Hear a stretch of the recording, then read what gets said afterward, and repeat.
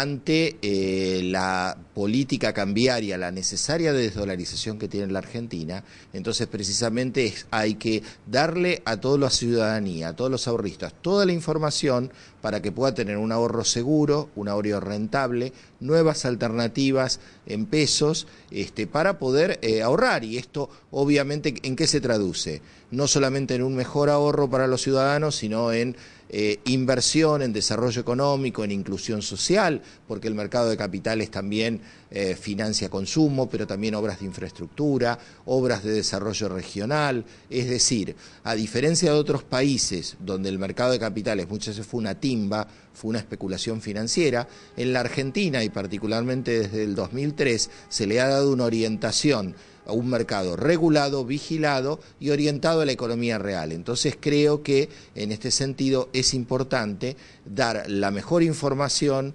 mostrar que desde el Estado estamos controlando, estamos vigilando y por otro lado estamos promoviendo este, estas alternativas de ahorro e inversión para todos los argentinos.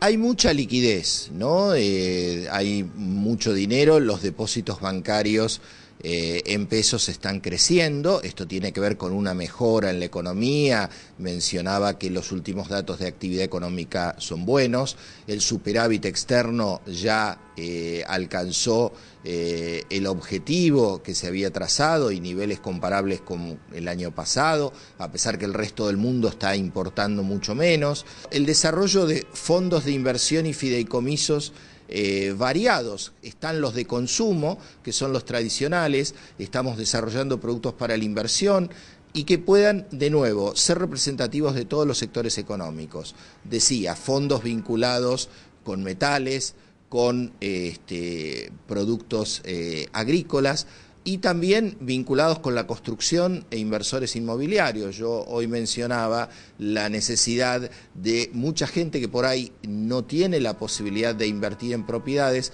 pero le gustaría por ahí algún ahorro que esté vinculado con el desarrollo de la actividad inmobiliaria. Esto moviliza la construcción, eh, moviliza la inversión en viviendas, creo que puede ser un complemento muy interesante eh, con los planes eh, de vivienda que el Gobierno Nacional está realizando a través del ANSES, es decir, creo que de alguna manera el mercado de capitales tiene que cumplir este rol de poder acercar al ahorro y con la inversión y de dar alternativas que de alguna manera sean aceptables con la idiosincrasia del ahorrista argentino y por otro lado cada vez más conectándolo con eh, necesidades específicas de inversión en infraestructura, en eh, construcción, que son sectores además que tienen encadenamientos económicos y que generan un derrame sobre la actividad económica, sobre el empleo muy importante.